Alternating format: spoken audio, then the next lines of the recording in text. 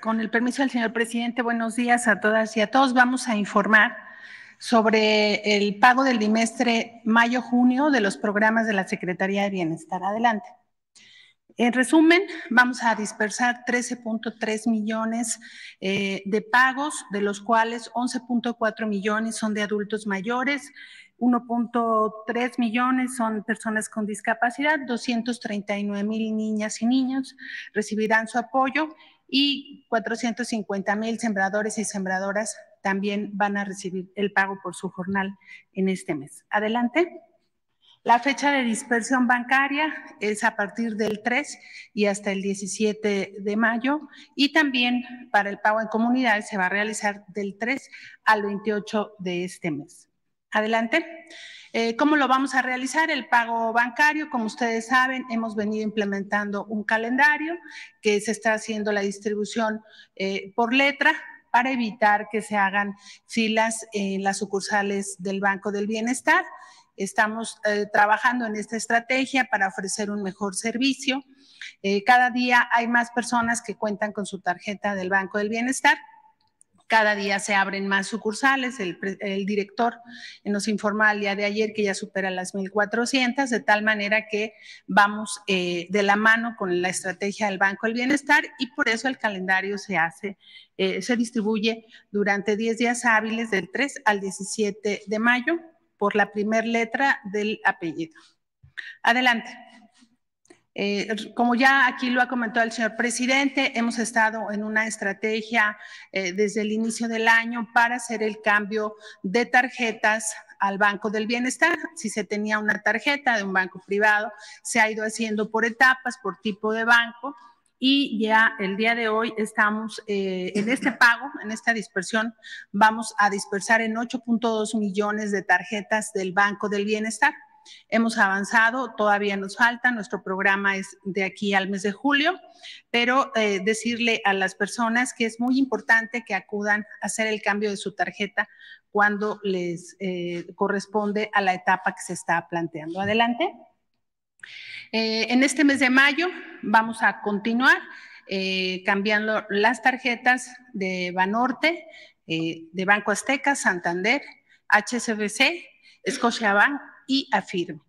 Eh, quienes venían recibiendo su pensión en cualquiera de estos bancos habrán de acudir durante el mes de mayo, del 3 al 31 de mayo, a realizar este cambio de tarjeta. Lo hemos estado haciendo por banco, iniciamos con Banamex eh, en el mes de enero y febrero, eh, el día de ayer concluimos el cambio para los que recibían su, pensión a través de una tarjeta de Bancomer y a partir del 3 de mayo continuamos con los siguientes bancos. Eh, para estos bancos que eh, cumplen la etapa del mes de mayo, hemos colocado 1.746 módulos en todo el país para que las personas tengan de manera cercana el módulo y realizar este cambio. Adelante. ¿Qué deben llevar las personas para hacer este cambio de tarjeta? Una identificación oficial con fotografía, el acta de nacimiento, todo en copia, una CUR de reciente impresión, el comprobante de domicilio y un número de teléfono tanto de casa como de celular, porque a través de un mensaje a su celular le estaremos avisando cuándo son los depósitos y evitar que ellos tengan eh, que moverse. Si por alguna razón hay personas eh, que tienen difícil movilidad, que ya tienen avanzada edad, eh, que no tienen alguien que les auxilie o inclusive aunque tengan un familiar, pero ellos no pueden ir al módulo de manera personal, ellos pueden gestionar una visita domiciliaria a través de la línea de bienestar o de la página de la Secretaría de Bienestar o que el trámite lo inicie su familiar, lleve el expediente y ahí se agenda la visita domiciliaria, porque un principio básico es que entreguemos la tarjeta en propia mano, pero también nuestros adultos mayores pues tienen distintas condiciones y hay que apoyarlos, tanto la familia como nosotros, para acudir a sus domicilios y que se logre hacer este cambio de tarjeta independientemente si ellos no pueden salir de casa. Adelante. Como aquí ya lo hemos dicho, ya se eh, cubrió la etapa de Banamex y de Bancomer, pero todavía faltan algunos de acudir por su tarjeta. y como vamos avanzando en las etapas, eh, hemos colocado unos módulos especiales para eh, quienes se han rezagado en acudir por, esta tarjeta y eh, para estos rezagados hemos colocado cerca de 400 módulos para que ustedes, si todavía no van, puedan acudir, insisto, gestionar la visita domiciliaria a través de un familiar si es que no pueden acudir por alguna razón. Adelante.